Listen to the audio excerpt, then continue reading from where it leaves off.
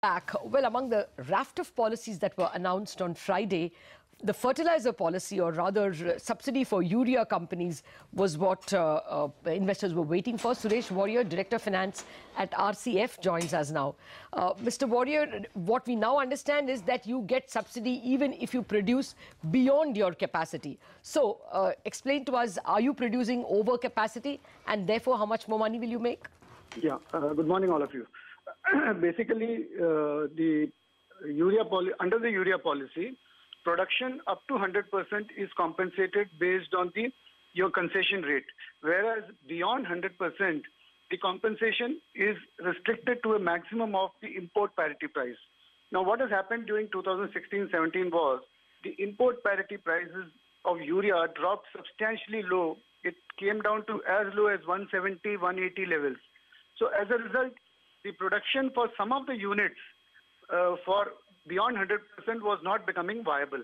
So all these companies represented to the government that this, this policy needs amendment.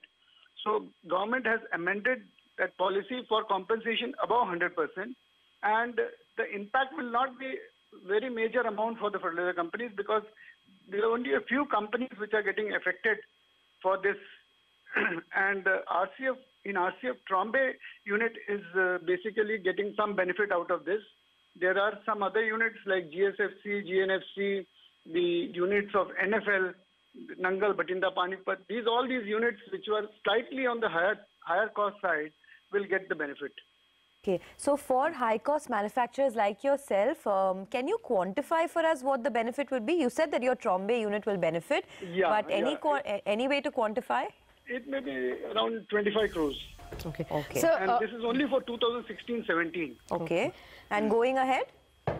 going ahead because uh, what has happened is they have un- in the policy uh, one more uh, thing that has been no- notified is ki that the department of fertilizers in consultation with department of expenditure can take decision on such matters in the future so they need not go to the cabinet again and again if suppose the urea prices drop in say 17 18 and going further Well, Mr. Warrior, uh, can you tell me how much your subsidy is per ton within that 100% and how much it will be beyond that 100%?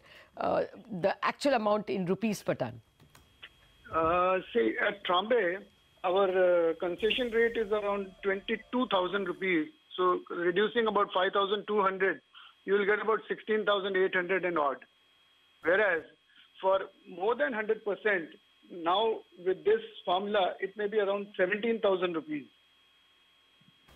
Okay. So, uh, so it may come about uh, 17,000 minus 5,000, which is about 12,000, 11,000, 12,000. Okay. Uh, fair enough. Uh, um, uh, Mr. Warrior, thank you very much for explaining all those details to us. Uh, uh, that's